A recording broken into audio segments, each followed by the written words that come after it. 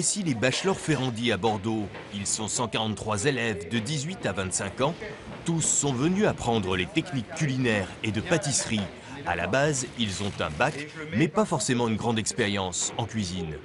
Avant ça, j'ai fait un BTS en comptabilité. Ouais, ça me plaisait pas, du coup, euh, j'ai toujours été tournée vers la pâtisserie et c'est ce qui me plaît. Tous sont animés par la même passion de la gastronomie à la française. Ils vont avoir 600 heures de cours et 5 mois de stage par an sur 3 ans.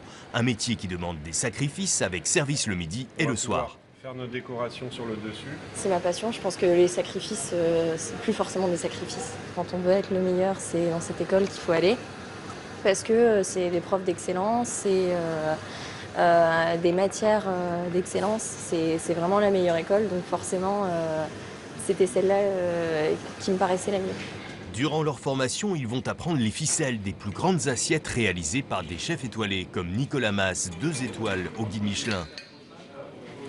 Si c'est bien expliqué comme il vient de le faire, c'est plutôt des gestes faciles. Mais en revanche, après avoir l'idée de réaliser un plat de cette façon avec ces techniques, on ne l'a pas forcément encore. Si je suis ici pour aujourd'hui, et aujourd'hui c'est vraiment pour transmettre mon savoir-faire, donner envie, euh, parce qu'en fin de compte, euh, on a besoin de jeunes dans nos cuisines. Et je pense que vraiment, euh, la transmission, c'est le plus important de notre métier. Outre la restauration et la pâtisserie, le troisième bachelor est celui de manager de restaurant, un métier pour lequel les élèves seront confrontés à la clientèle. Mon ambition serait d'avoir mon propre restaurant. Donc on a des cours de salle, on a également de la pratique. Euh, on a deux services par semaine, le jeudi et le vendredi. Ils vont aussi apprendre les bases de la sommellerie avec des connaissances sur les vignobles, en particulier celui de Bordeaux, mais aussi et surtout savoir conseiller le gastronome sur les meilleurs accords mets et.